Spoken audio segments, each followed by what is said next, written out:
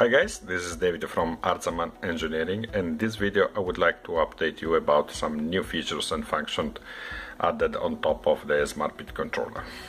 I'm referring mainly to the Smart Thermostat, the general purpose application and I'm happy to announce you that now you can manage also different temperature sensor types especially you can connect thermocouple the K-type thermocouple this is just an example of a low-cost K-type thermocouple this is another one with just two wires the main characteristic of this these um, sensors is that you can now manage high temperature process with great accuracy.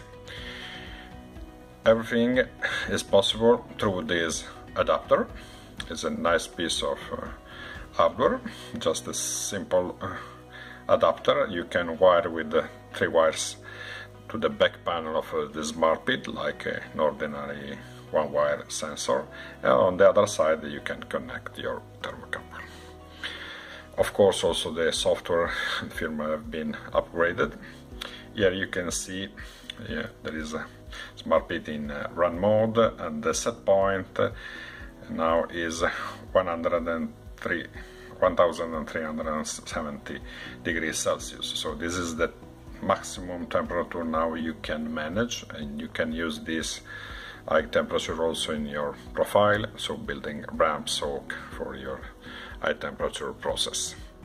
Now we'll do a short demo, but before let me also introduce these other breaking news. This is the new look and feel of the smartphone app. It's brand new technology now in testing phase. Is no more uh, integrated with ThingSpeak, but uh, we have a private server and the new technology is very powerful and uh, the, uh, very interactive and all will be retrofitted according to this new technology. Now I just use this to show you temperature and to see the plot, the graph of the of the temperature. Let's try to heat up the the sensor.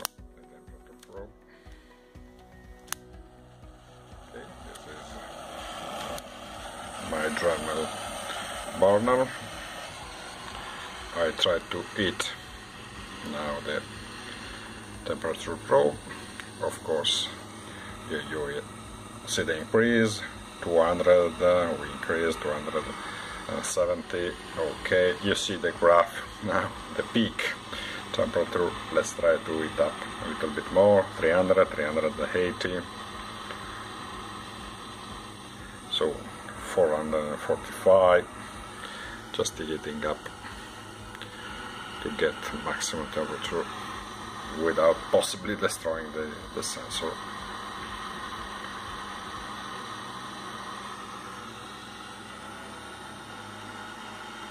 let's try to reach 700 then let's stop.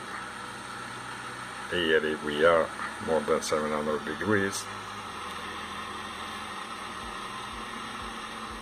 Okay.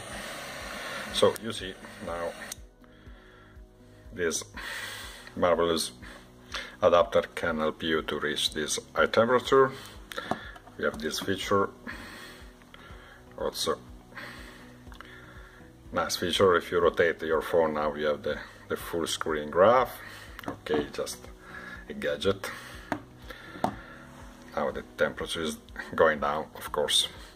So that's all.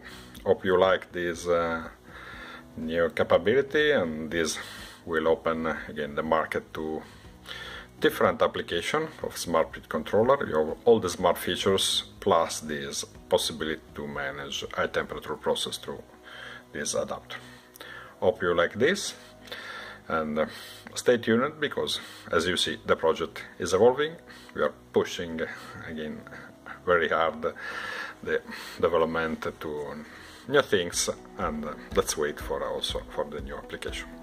Thank you for watching. Bye.